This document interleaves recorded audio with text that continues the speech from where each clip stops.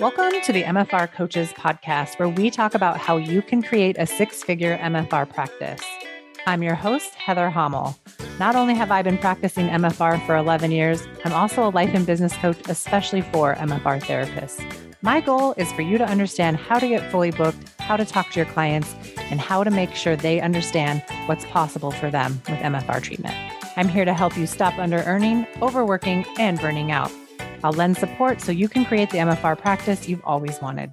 Learn how you can do it too, even if you live in a tiny town, and even if you're just starting out, and even if you've ran your practice for years. Let's go.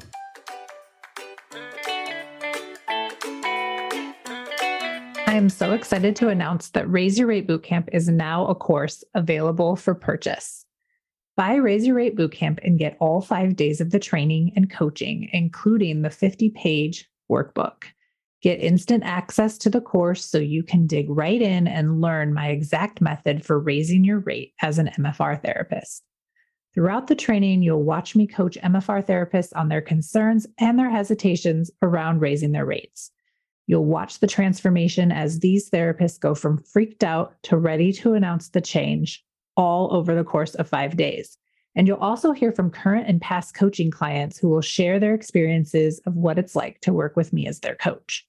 Click on the link in my bio on Instagram or in the show notes here and get access right now. Have your rate raised by this time next week. You can do it too. Hey, everybody, and welcome back to another episode of the MFR Coaches Podcast. We are going behind the scenes today with my online business manager, Jacki Hayes. Jacki, welcome to the program. How are you? Oh, thank you for having me. I am doing well today. Awesome. Are you ready to get into it to divulge what it's like to work with me and all of our secrets? Yeah, I'm ready. Are you? I'm ready. I'm ready. All right. So, just to give the audience some background information, we've been working together in this capacity with you being the online business manager since October. But before that, originally we spoke in May. I hired you to do a VIP day, which basically meant that we spent eight hours together, something like that. Like it was a, I had never been on such a long Zoom call in my life. And we basically went over everything to take my business from where it was to the plan for what we've created now. Like that started happening way back in May. Why don't you kind of tell the audience what it is that you do and kind of like the idea behind the VIP days too, because who knows who's listening to this? Like lots of people might need these. so, uh, as Heather said, we met first to do a launch planning VIP day way back in May. And those VIP days are not eight hours. They may feel like it, but um, I they, also had COVID, so maybe that's why that, that didn't help. I mean, they you block off eight hours of your day, but we're essentially on Zoom for about five hours, hmm. so like two and a half in the morning and two and a half in the afternoon, and it's intended to really create an intentional launch plan for coaches moving forward with their group coaching programs. A lot of coaches will launch their programs by the seat of their pants mm-hmm. and throw spaghetti at the wall. And that is fine for their first couple of launches. That works because you don't know what you don't know. And so mm-hmm. it's a mm-hmm. great chance to experiment, find out what works, what doesn't work. And then there's a point at which coaches like Heather are like, I want to be more intentional about this launch so that it feels easier, more spacious, I feel more supported. And that's what these VIP days are really for, is to create launch plans that are not templates, that are not basically what your mentors do, but a launch plan that works for you and your business. And so, yes, we are on Zoom for about five hours, mapping it all out. Yeah, it was intense because I don't think I'd ever intentionally thought about my business in the way that you focused my brain to think about it. And so there was this giant intake form I'm so dramatic. You're probably like, oh my God, no, it was giant. four pages. Yeah. and, and I mean, it was like everything from like, what are your values? What are your company's values? Um, what are some of the other questions you ask that are they're like pretty deep? Like it forces you to really think about. Yeah. Yeah. So, and it has evolved over time the more I have worked with coaches. And so, what it has now is yes, it has your values as a company so that your launch is aligned to your values. So, everything that we mm-hmm. plan does that. Your mission, your vision, your goals, and now I even have things in there like If you are uh, into your human design, okay, what are your human design uh, mm-hmm. elements? If mm-hmm. you're into the Enneagram, what is what is your Enneagram number, so that we can then look at you as a person and how you work best. Mm-hmm. So that mm-hmm. as we're coming up with this launch plan, we are keeping that in mind because if you're a reflector you're going to work differently than if you're say a manifesting generator or if you're an mm-hmm. enneagram 2 you're going to work differently than an enneagram 5 for instance yeah. i'm a manny gen so i have an almost unlimited work capacity as opposed mm-hmm. to say a projector who needs to take some more time off so Yep, I'm a projector. yes. So, yes. Yeah. as we're building out a plan, it's really good to know this because you may need to build in more space and openness into your schedule as a mm-hmm. projector than somebody like me who is like, I need all the work, I need to go, go, go, which mm-hmm. is also a great way for you to think about who you want to bring on for support. Mm, yeah. You probably don't want to bring on a, another that projector. must be why we complement each other so well. Ooh, yes. I love this. Okay. So, one thing I was going to say is a lot of people listening to this will have no idea what the hell we're even talking about when we talk about the word launch. So, in your terms, like how do you describe what a launch is for people that like are not coaches? Yeah. So launching happens in every service and every industry and every product. A launch is bringing your offer or your product to your audience so that they can purchase it or consume it in some way. Okay. And that is from the beginning stages of planning what it is your offer or your product is, all the way to finishing it up and evaluating how the whole process went.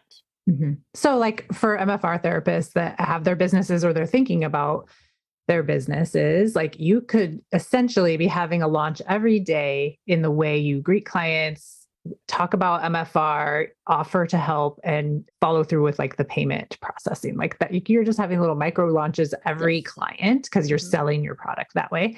Or you could have a more bigger launch with leading up to and intentionally creating a new offer or a sale or a special or opening your doors for the very first time or reopening, like whatever, whatever exactly. it is. Doing a price increase could be kind of considered a launch. Like all of those things are little launches.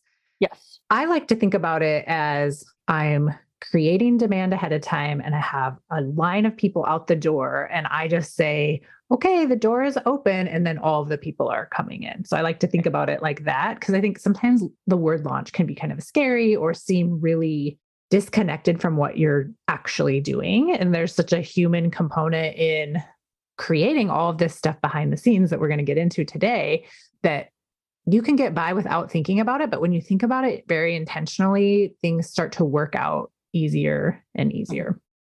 Yeah. So let's get into this like this idea of intentional planning and what goes into that. And like, what are your ideas around intentional planning?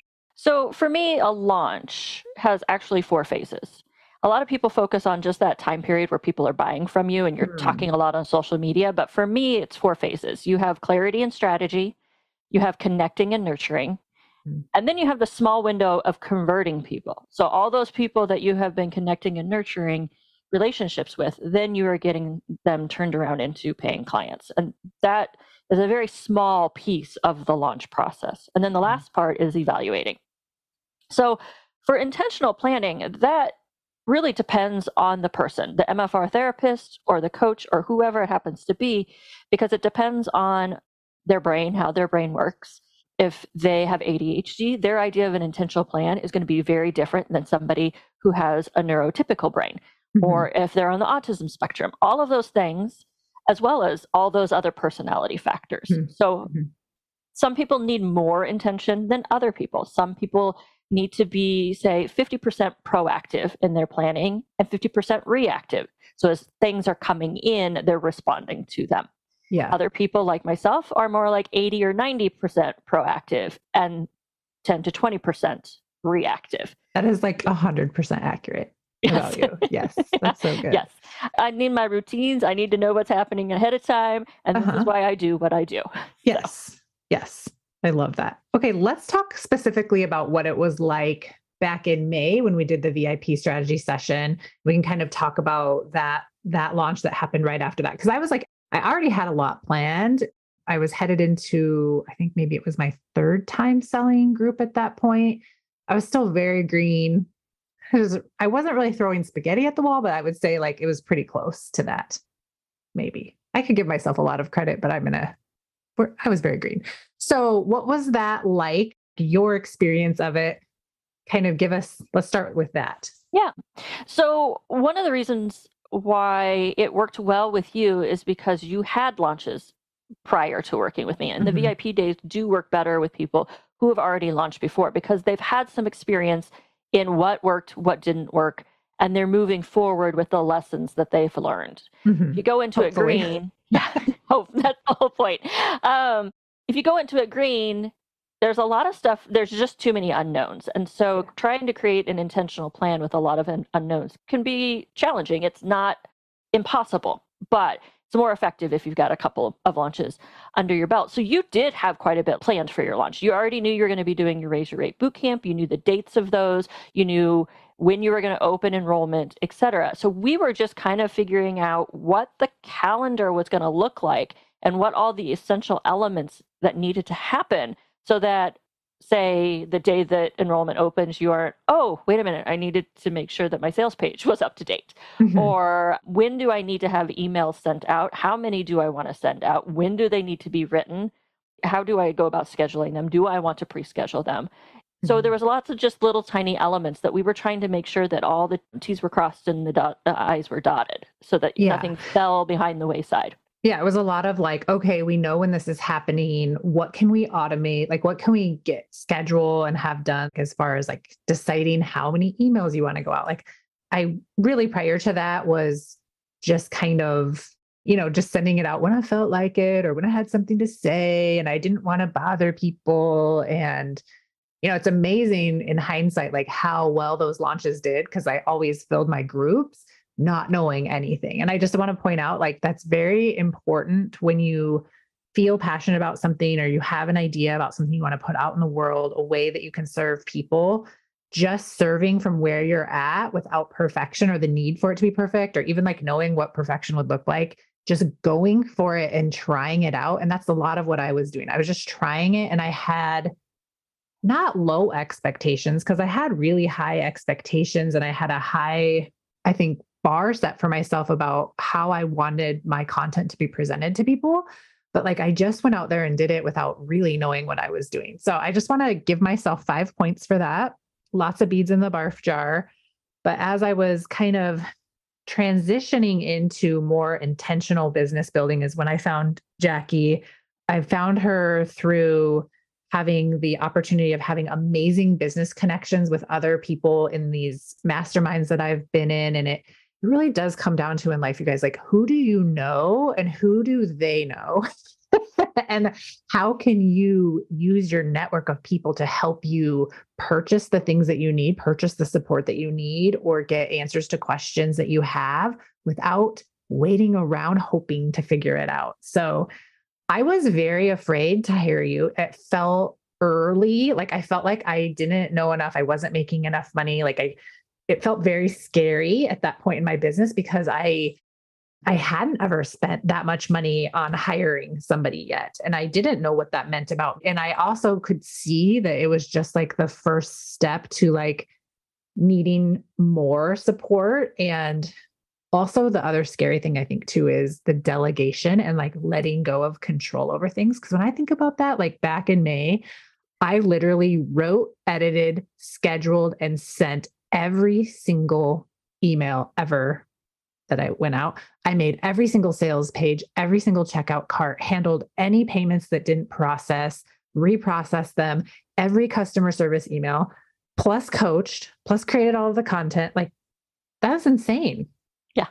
I think after the VIP day, you had hired me for like a little add-on to schedule all the emails yeah. for that that one launch. Because before that, you had done all of that. Yeah. And this time around, you're like, I'm going to write them all. But then for like, a, I took a, a Friday morning and scheduled all of the promotional emails for you. So mm-hmm. I think that mm-hmm. was kind of your first opportunity to delegate a step of the launch process or any of your business process yeah. to somebody else other than your podcast editing. So yeah, yeah.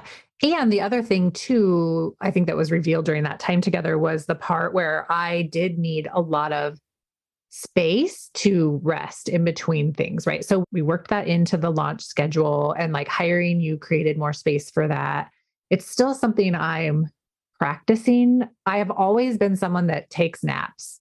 I just like work that into my day. So that wasn't a new concept to me, but I would feel guilty about it or ashamed or nervous or, you know, whatever. Like it, it was like I was taking it out of necessity, not out of want to do it. And so, like, we were able to kind of change things around, and I was able to rest more and enjoy that launch in a different way than I had previously.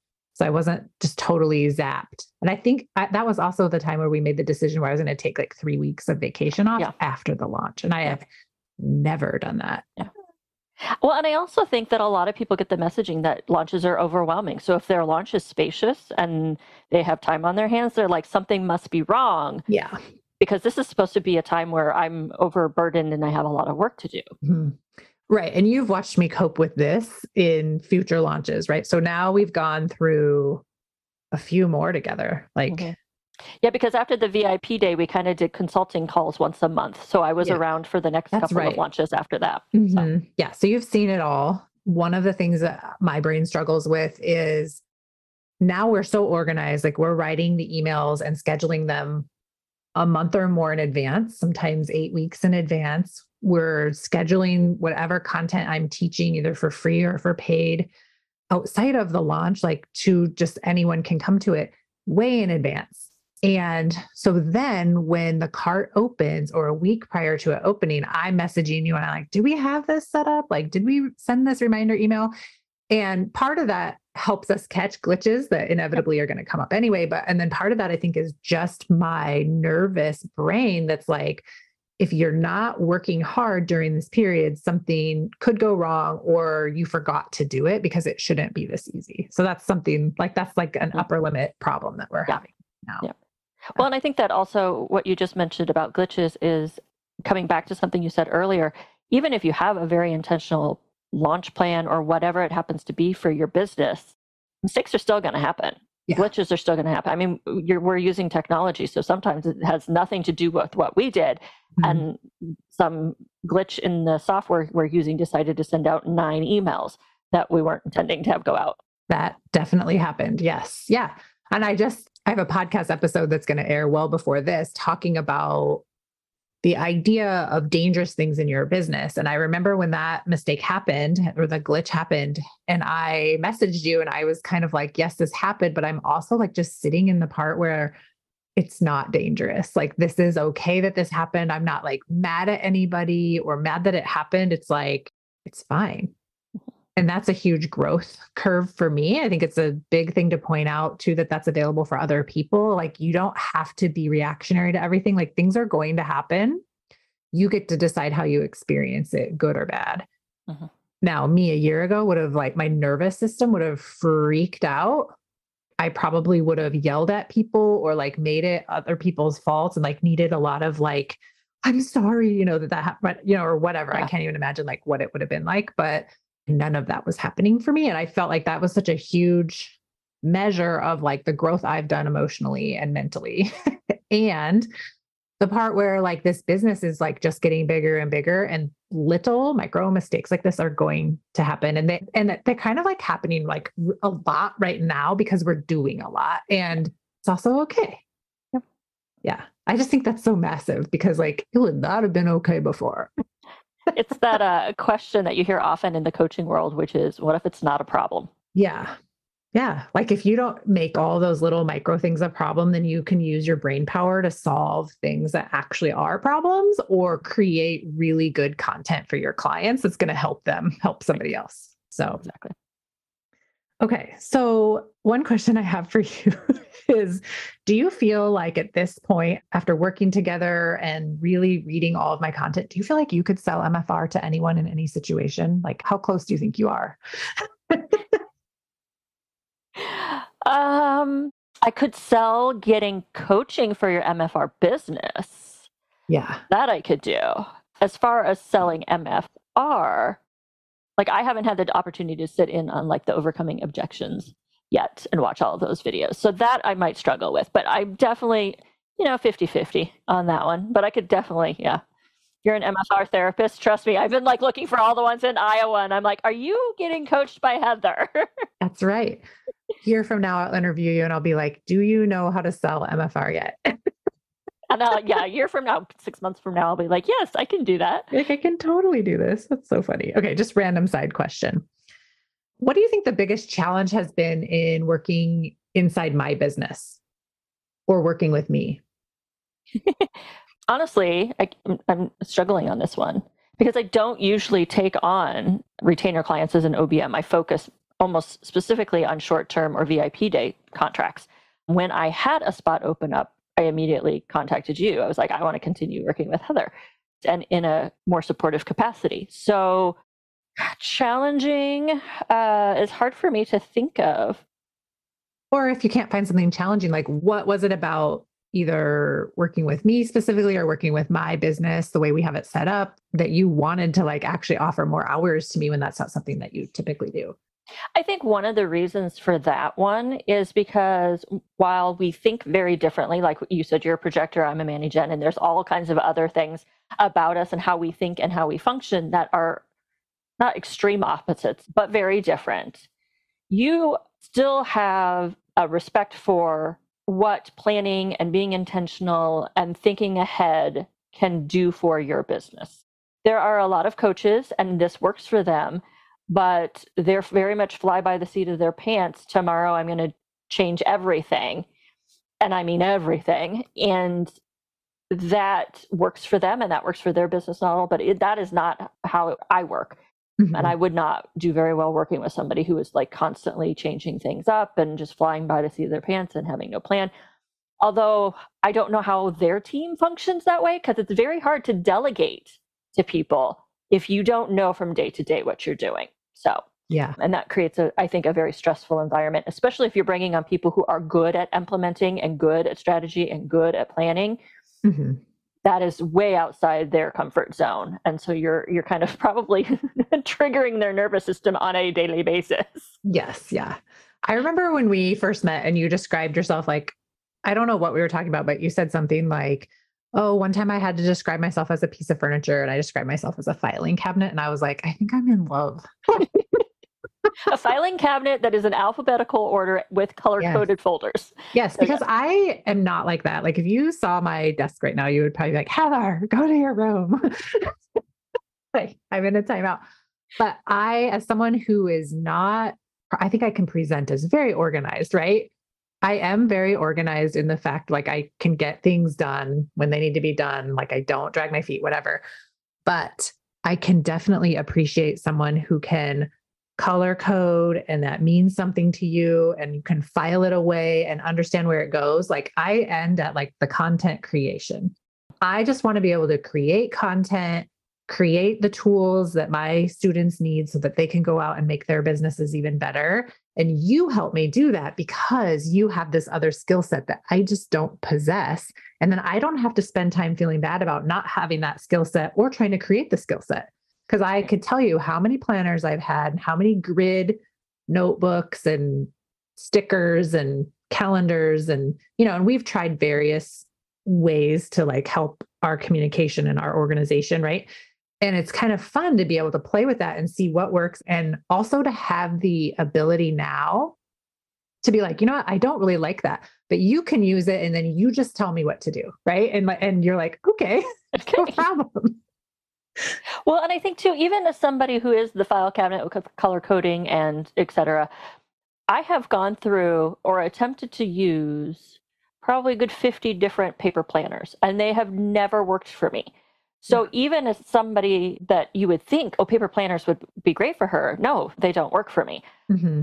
And I think for everybody, regardless of what business you're in, you really can't just be like, well, so and so said this is the best productivity tip or this is the best time management tip and yeah. think it's going to work for you. It all is an experiment and to yeah. find exactly. And you may have to piecemeal it and be like, okay, this one I like and this one I like, and I'm going to put it together and create what works for me. Mm-hmm. Yeah, exactly. And I promise I will learn how to use ClickUp efficiently for you in some capacity. we just we need to find the capacity that works for you. What yeah. you know. And that's the thing with you find people who shore you up where you know it's not your strength and vice versa but that doesn't mean that you have to know and do, be able to do all the things that your team mm-hmm. members do mm-hmm. the whole point of having a team is so that you can take things off of your plate so yeah. i think a lot of people are like well i should be able to do all the things Right. Well, there comes a point where you just can't. There, yeah. There's too many things, and yeah. you're wasting a lot of your brain space where you could be giving that to your clients. Yeah, and that's what's really happening right now in my business, and it's uh, it's an interesting feeling because I have all of the support, right? I have you, I have Colette with the podcast, I have Amber with Entreport, I have Amy, who's my CFO. Like we have this team of people. And at the same time, things are, I don't know if they feel like they're like getting really fast or efficient, like what the word is, but it's it's just interesting how much less I have to be involved in like sending out emails or right. I still create all of that content, but I also have other people's eyes on it so that I'm not doing everything all the mm-hmm. time. Yeah. And it's a weird feeling like letting that stuff go. Like I remember when I let you first like schedule the emails. I was like, oh, it does not feel good, right? Like a lot of it does not feel good. Like as you're handing it over in the same, I went through the same situation with like having Amber build out like the website. Like I had always built my own websites, my own landing pages, my own checkout pages. And to have someone else do that and not actually know how to recreate it is one of the most scariest steps in this business, I think, for me. Yeah but you kind of know how to do it. Like we could figure it out if we had to. That's the other thing that I like yeah. about like our relationship. Like we can always troubleshoot whatever comes up and like you know enough about it like you could do it if you had to.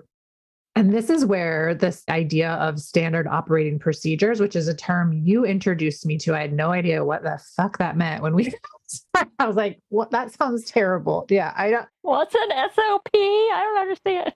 I do not want to write a binder full of standard operating procedures. So can you kind of tell people what that is and why those are important? And, you know, and like it's something for MFR therapists to start thinking about.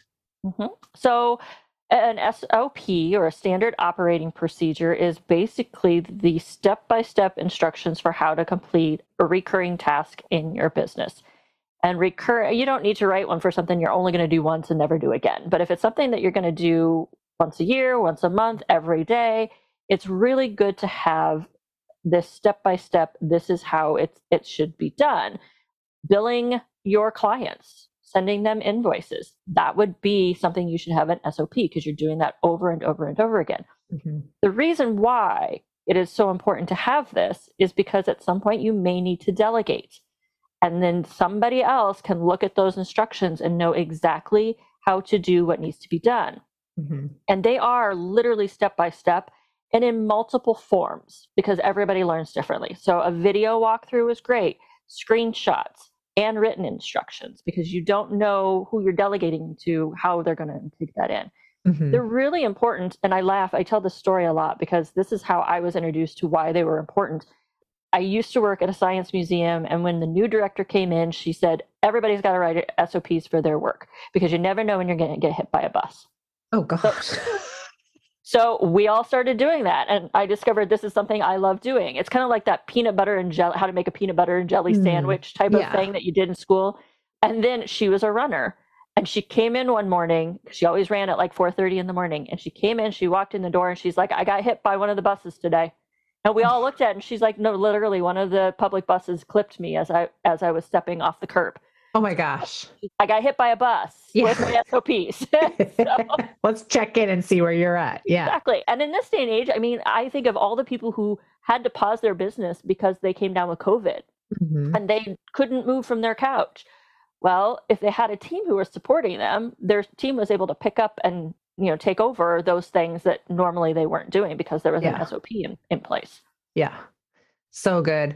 And like this just goes into all like the methodical thinking of all of the steps that go in. Like when you sign up for group coaching, we have spent hours literally poring over what is the experience for the client, for the student that buys that, for the MFR therapist that buys that, from the confirmation email that you get or the confirmation screen that pops up saying you're in to the email with the next steps on it to the reminder emails for the Zoom calls to how to get into the Facebook group to how to sign up for the private podcast feed that's just available to people in active coaching. Like what else do they get?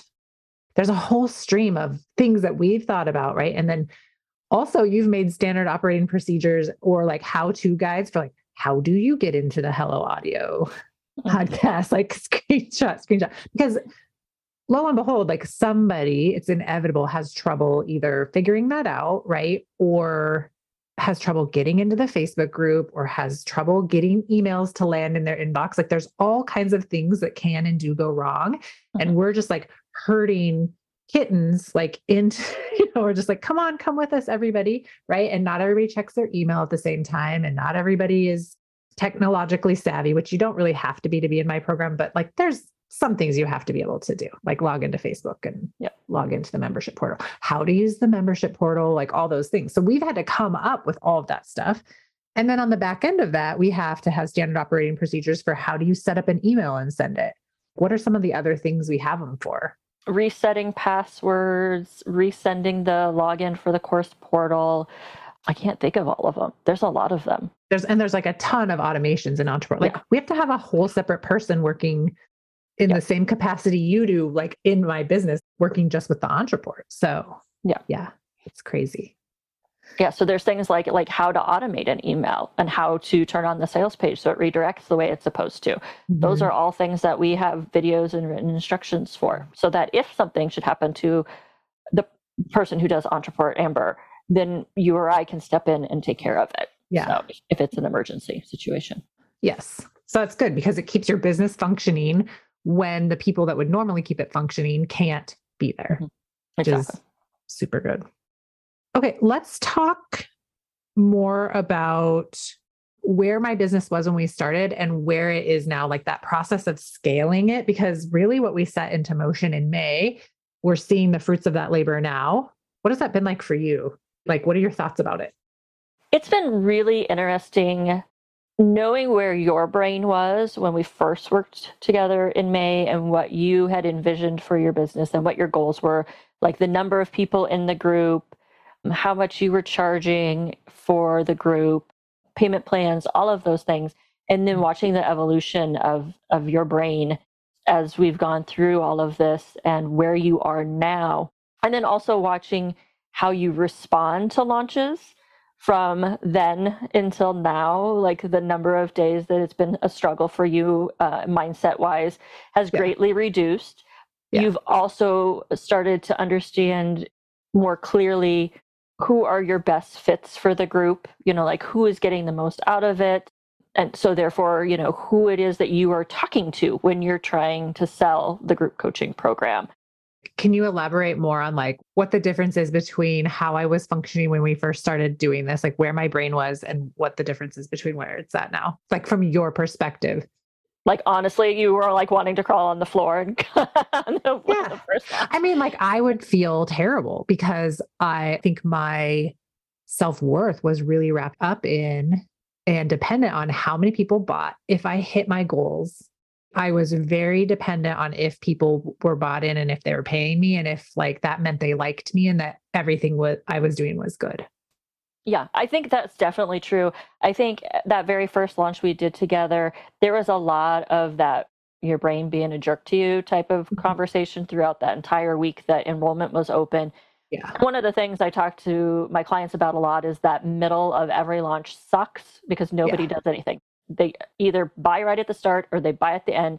And so, uh, you know, I watched you struggle there in the middle, and now you're mm-hmm. starting to like, oh, yeah, that's true. I have people who buy at the beginning, or I have a couple of people at the very end. And yeah. so now that week that the enrollment is open, it's kind of like, okay, yeah, right. These three days are just let's go about our business, make yeah. sure everything's happening. But it's not a big deal. So I think watching you go from this is a big deal, this is a big deal, this is a big deal, this isn't working, this isn't mm-hmm. working, and when somebody buys, it's a really, really high high. And it's not that we don't celebrate it now, but there was extremes in that first one of really high highs and really, really lows.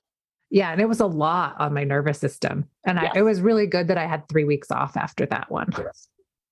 And I think it felt like so much more was at stake because it was the first time we were really, really intentional. So I think in my brain, I was like, I should have this massively different result. And basically what I did was have the same, same result. Nothing had gone wrong. I still like sold out my group. It was fine.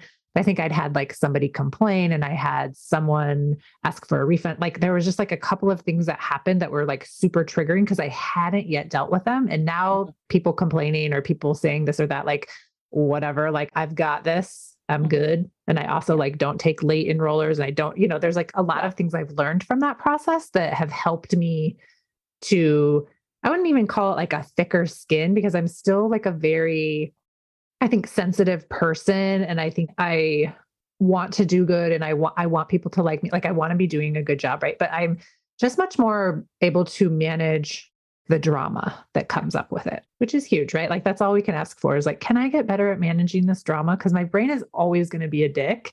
Yeah. And I just tend towards the negative. Like that's just that's just what I do. It's kind of kind of makes me great, you know? I don't know. I think too, in that first launch we did together, yes, the number of enrollees didn't change from the mm-hmm. other launches that you did, but we looked at other measures of success. Mm-hmm. So other things did change for the positive. And so mm-hmm. learning to not just pick one measure for success, but have multiple measures of success is yeah. important for any business owner to keep in mind. It yeah. was easier, or I had more space in my calendar, or I worked fewer hours, or I had better fit clients, or this one felt, felt fun. That was the huge win. Not, and I don't want to underscore like any of the people in my previous groups because they were all fucking amazing. But in this one, like in that instance, in that screenshot of time or snapshot of time, we got all new people. I think it was all new people. Yeah, if there was returning people, it was a very, very small minority. Yeah. And I that like freaked me out. I think I had this idea like, I've got to have all this proof of concept, like living in the group. What am I going to do? And then I was like, I suddenly switched to like, how is this the best thing for me? And how is this going to make me an even better teacher of this? Because we're all starting like from the beginning then together. And that was the most fun. I think I had the most fun in the group. It was the most creation, like creativity I had. And it was super fun. Mm-hmm. Yeah. yeah. And I have people from that group that are still enrolling now, like into April of 2023. Mm-hmm. And that was from July. Mm-hmm. It's crazy. And at some point, yes, coaching is something you should always have available to you as a business owner, somebody to help you with your brain. Mm-hmm. But at the same time, you are not going to have a 100% attrition rate. So if you are not looking for ways to find new clients and bring new people in, whether it is as an MFR therapist or a coach, yeah, eventually you're going to run out of clients. So, right, if I'm like depending on the same people to enroll, enroll, enroll. over and yeah. over again, yeah. We've had that conversation because I have had a high amount of people re-enroll, and I was, I think I was just joking around with my group the other day, and I was like, well, one of these days, you know, like Rob or Sarah or Linda or you know or Leslie are gonna just not re-enroll one day, you know, because they'll be done or they're taking a break. And I have to be okay with that, like now, like starting now. And I am. Mm-hmm. So, like, I just, have so much love and respect for everybody that comes to the group and I am completely detached from whether or not I'm like not attached to if they come back for my self-esteem. And that's been a really big growing measure for me. I just love whether they're there or they're not there. It's okay. It's going to be great either way for them and for me and for the people in the group. So we'll make it work. Yeah. Yeah. As business owners, regardless of what your business is, it's hard to detach you as a person from your business. Yeah. So when a client sa- or a potential client says no or a client leaves, it is a growth edge there that you have to learn that it's not about you. Yeah. As long as you've been doing your best to serve them, it's not about you. Yeah. And I think this is like really good just for anyone listening who has a businesses, but in particularly my MFR people that are listening. You know, when you have a client that doesn't buy from you again or they quit treatment prematurely, like before you think that they should, how can you unattach from the outcome of that, like in any way that makes it mean anything about you? or you judging the client. Like there is a huge growth edge there. And the more work you do on that, we are working hard on that in this group right now. Ooh, it is painful. It's a painful growth edge for a lot of people, me included. But when you can get to neutral with your clients on whether or not they buy from you again or get what they came for, you will serve your clients in a much more brave way because you aren't dependent on them for how you feel. Mm-hmm. And when you can be less and less dependent on your clients for whether or not you feel good about yourself, you are going to make a lot more money and you're going to serve a lot more people and you're going to have so much less fear living in your body, which is so important. You just experience your life and the world so differently. The one that I'm working on is that I am responsible for generating revenue and paying my bills. Yes, you're your best referral source. Well, but my clients aren't responsible for that. Yeah. Yes. I can't put it on current clients to be responsible for paying my bills. That's yeah. not their job. Yeah. You pay them, right? Like you always are the one paying them. Yeah. I think that's exactly. a really good thing to remind yourself. Mm-hmm. And I think that creates a healthier relationship with your clients. Yeah. Oh, for sure. And it feels it feels better for everybody involved. And yeah. you know how to get shit done. Like you know how to like if you needed to all of a sudden become more financially responsible or had a big like you would figure it out and you have just like I would figure it out and I have and my clients figure it out. But when we remember that about ourselves, like it's super empowering. Yeah. And it really helps with that relationship. Yeah. This is like making me feel a little emotional, like revisiting all this time we've had together because I won't ever have back like that moment in time before I met you. Like I have like my business before and then like that one conversation and and hiring you and like I have my business now. And I wouldn't change anything about how I had it up until meeting you, but I'm just so thankful to myself then in May that I had the guts, the courage, and the aspiration to be like, yeah, like I'm going to hire this person and like I am way too big for my britches right now, but I'm just going to do it. Right. Like I love the tenacity that I had then. And sometimes I like long for her. it seems like the bigger the business gets, I have less, maybe, I don't know if that's even true. I don't have less moments of that, but like I just, can instantly transport myself back to that moment in time and those decisions and how good those decisions were to get me to where I'm at. Mm-hmm. So I just want to thank you for being a part of that. And I'm just looking forward to so many more years of working together. I'm so thankful that you created space in your schedule for retainer clients and that I'm lucky enough to get to be one. I like I say this to myself every day like I'm so lucky to get to be Jacki's client and I hope my clients have that thought about working with me. Like it's such a great energy to put out in the world. So mm-hmm. I hope you know like how much I appreciate yeah. you yeah, anytime that I get a Voxer that is like, we're working together forever, I'm like, well, I'm glad that she likes me enough for that. Yes. Like, forever is a really long time. I know. I would think like your job title would change. at some point, there might be some evolution there. At some yeah. point. Yeah. Well, and like Jacki's at the top of the chain. So, like, the thing is, is as we hire more people that work in the system to do more of the things, like you will manage all those people. Mm-hmm. So Bring like, you up to serve your clients. Yeah, which is going to be so great and I'm looking forward to like building out our team and having the opportunity to be able to do that and to pay people really well and to oh and this is the other thing like Jacki raised her rate and I love it. and I love loving it and I also love paying you a lot of money. Yeah. Like I hope you feel like it's a lot. Like I, I what are your well, and I, I, well, and I I gave you like a deadline and you're like, no, I'm going to just start doing it now. I know you had the deadline of like two months from now, but I'm going to do it now. And I'm like, okay. Yeah. Also, that almost made me want to barf asking you mm-hmm. for telling you this information. Mm-hmm. like, I love that. But I'm then like, were you yeah. surprised when I was like, oh, no. Uh, like, can we just like start it now? No, not at all. No, okay. I wasn't surprised. It was more along the lines of like, I figured, you know, you, you hadn't planned for it yet. So I was giving you a leadway in yeah. your financial planning is what I was basically doing. But it did not surprise me because I knew you had expressed that you wanted to pay me more. And so I was mm-hmm. like, yay. And no, I'm not also not surprised. Yeah, I was like, gosh, let me pay you more. Do I need to hold you down? Like, what needs to happen? Right. But see, that there's also where my brain was going. Here was a person who said that she's been wanting to pay me more. And when I went to her and asked for more, I was still mm-hmm. nervous and still second guessing myself. Yeah. So yeah. Yeah. And and it wasn't even that you were asking, you were telling me your prices were changing, right? And there's a difference there. Yeah. This is true. Yeah, I wasn't asking. no, yeah, like, there's a difference yeah. there because I think if you ask all day, like no one wants to pay more, right? Do you want the $2 steak or the $20 steak if they're exactly the same? Like, I'll have the $2 one, right? Exactly. But there's this thing about, I don't know, like, I don't want to be the person that has the cheapest labor working for me. Like, I want people that are in my world to feel really taken care of and also like that they're getting everything that they want. And we won't always match up on what that means, but like right now we definitely are. And it feels really good. It's like a really good experience. And I think it's yeah.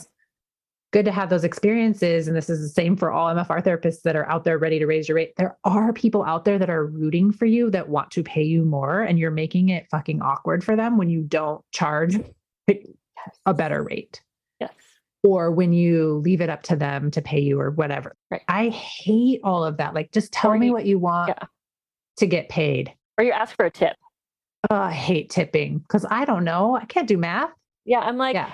you're my massage therapist or my hairstylist or whatever it is. Yeah. You get to set your rate. Yeah. So set the rate for what you want it to be. Don't set it low and then expect the 20% tip because then that's going to build in resentment if you don't get the 20% tip. The person is like, I don't want to do the math. Just tell me, tell me how much. I don't want to do the math. Yeah. yeah. Like I go to this one place and like every time she's always like, okay, it's $60. And she turns around the, her cell phone and like, I have to type in the total. I hate that. It's, uh, I don't know. Oh, it doesn't even give you like the 15, 10 and 20% no. options. Oh, that makes no. it even worse.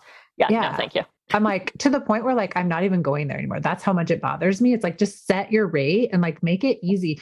Don't make the client do all this emotional heavy lifting for you because you're insecure about charging a rate, right? Yeah. It's okay to be afraid. Like you were afraid and you were nervous.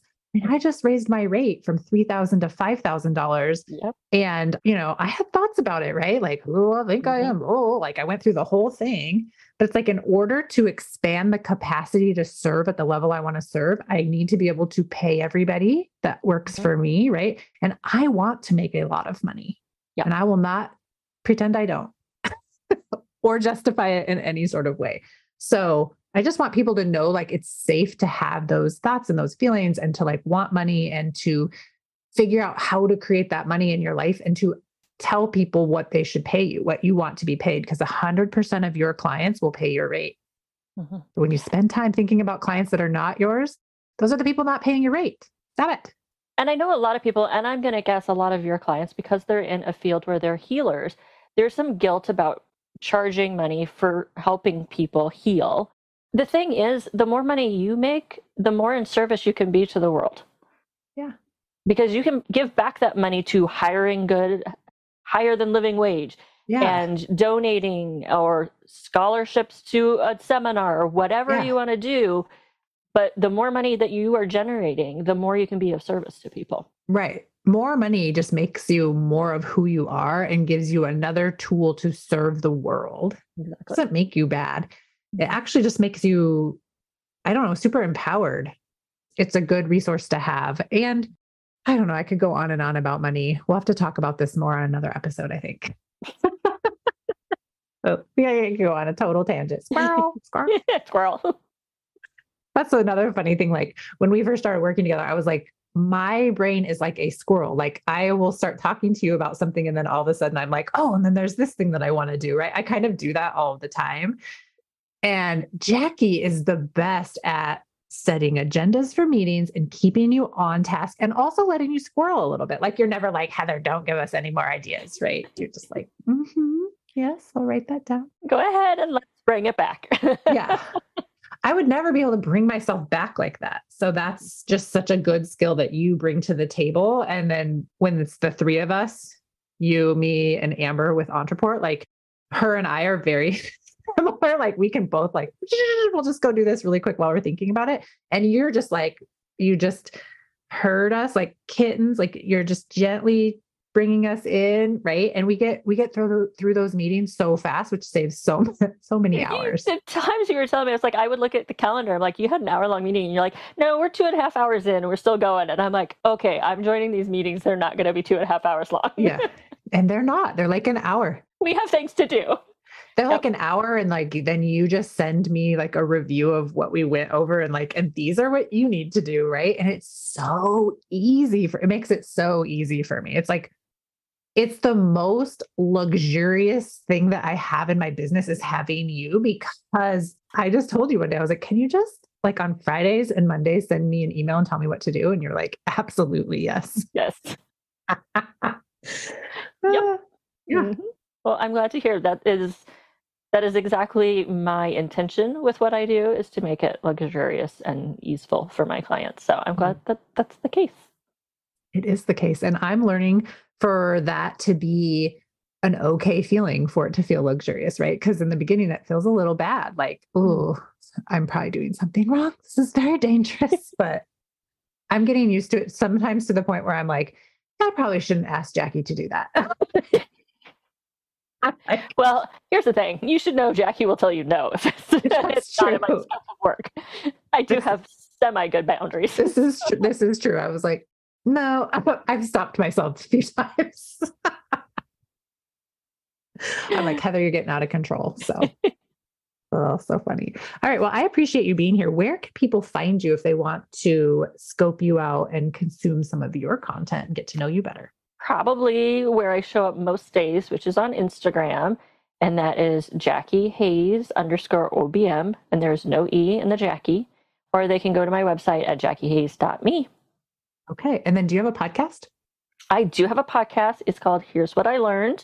Heather does have an episode on there. So if you want to check out the episode with Heather, it's Here's What I Learned. And it's on all the streaming. Um, okay. Um, whatever those are things are called. So, okay, great.